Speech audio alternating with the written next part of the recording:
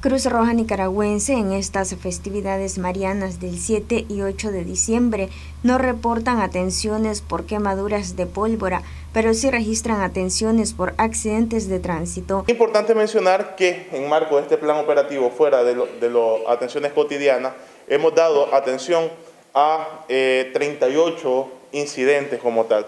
Dentro de ellos se destacan que hemos atendido 22 accidentes a nivel nacional y estuvimos presentes en dos eh, de estos accidentes, en dos donde hubieron personas eh, fallecidas.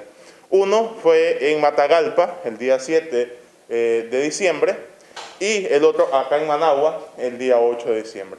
También hubo diferentes acciones prehospitalarias, pero es importante mencionar que no tuvimos incidencias con quemadura este año. La Cruz Roja Nicaragüense no atendió ninguna persona con quemadura por pólvora, así que es importante mencionarlo.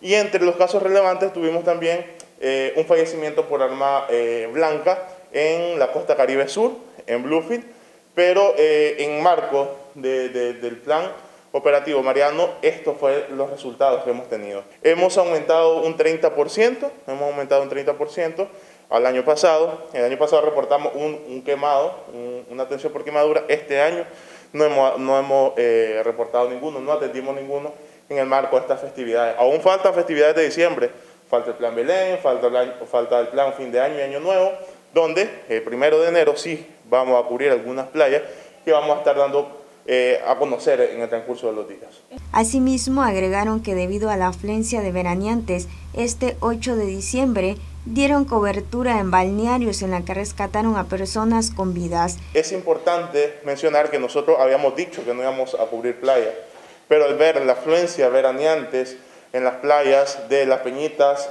y Paso Caballo, activamos a nuestras filiales de Chinandega y de León para dar cobertura a, este, estas playas, en el cual, esto fue el 8 de diciembre, en el cual eh, resultó que hemos rescatado con vida a tres personas.